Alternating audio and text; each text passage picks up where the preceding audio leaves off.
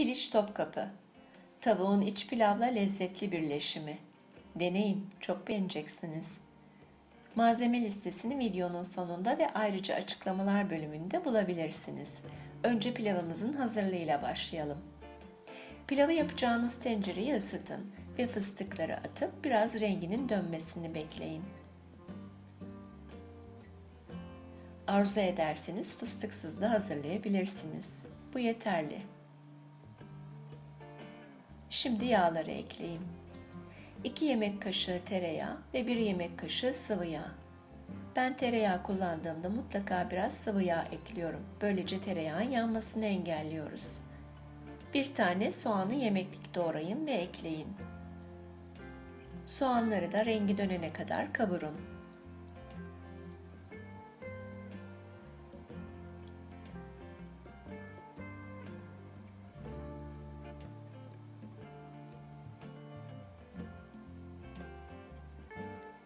Ve iyice yıkayıp nişastasından ayırdığınız pirinçleri ekleyin. Birkaç kez karıştırın.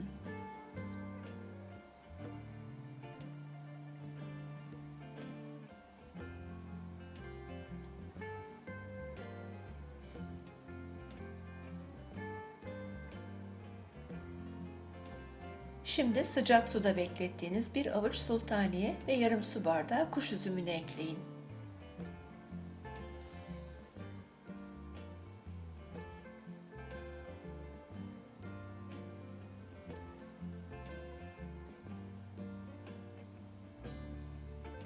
Bir çay kaşığı tarçın ve bir çay kaşığı yeni baharat ekleyin. Bu iki baharat da oldukça keskin. O nedenle mutlaka ölçünüz silme olsun. Baharatların aromasını vermesi için karıştırın.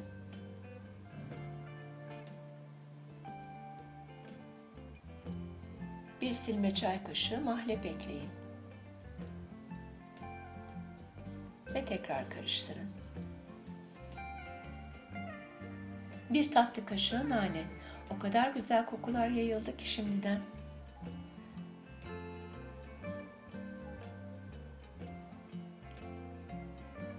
Bir silme tatlı kaşığı tuz, yarım tatlı kaşığı kadar da toz şeker ekleyin. Bir buçuk su bardağı sıcak su ekleyip son kez karıştırın.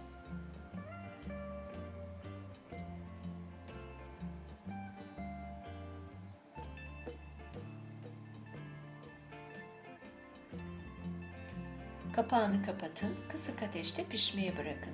Şimdi diğer hazırlığımızı yapalım.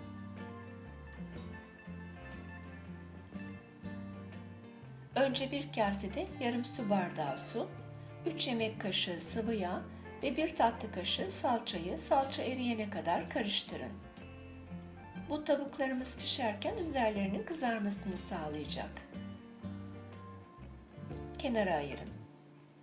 6 adet kemiklerinden ayrılarak açılmış tavuk kalça. Bu işlemi mutlaka kasabınıza yaptırın. Rahat sarmak için biraz dövdürün. Size tek göstermek istiyorum. Derisi mutlaka üzerinde kalsın. Tütsüleyin ve yıkayın. Bir kasenin içerisine tavuk kalçayı yerleştirin. Kenarlarından sarkıtın. Biraz tuz ve karabiberle tatlandırın.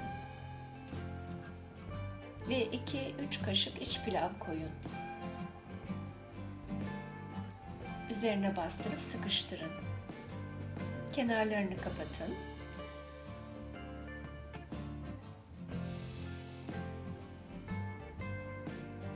Üstüne bastırıp iyice kapanmasını sağlayın.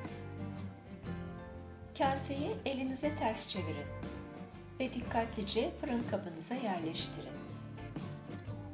Altlarının açılmamasına özen gösterin. Bu pilav ölçüsü 6 adet tavuk kalçaya tam geliyor.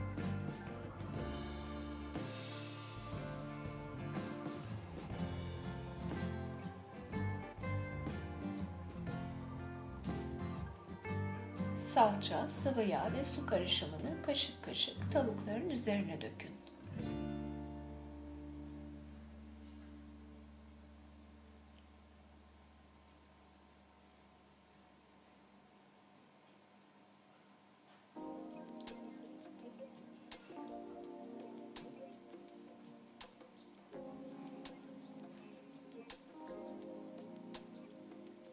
Fırçayla her yerinin kaplanmasını sağlayın. Tavuklarımız güzelce kızarsın. Kalan suyu da fırın kabınıza dökebilirsiniz. Fırını önceden 180 derecede ısıtın. 40-50 dakika fan ayarında pişirin. Unutmayın, her fırın pişirme süresinde farklılık gösterebilir. Kontrollü gidin. Eşit pişmesi için sürenin yarısında tepsiyi döndürün. İştah açıcı bir görüntü, doyurucu bir lezzet. Ben püreyle servis etmeyi tercih ediyorum. Güzel bir sunum oluyor.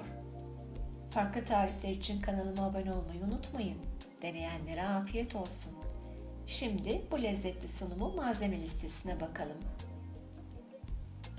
Ayrıca açıklamalar kısmında ve gözlerimden.com adresinde de malzeme listesini bulabilirsiniz.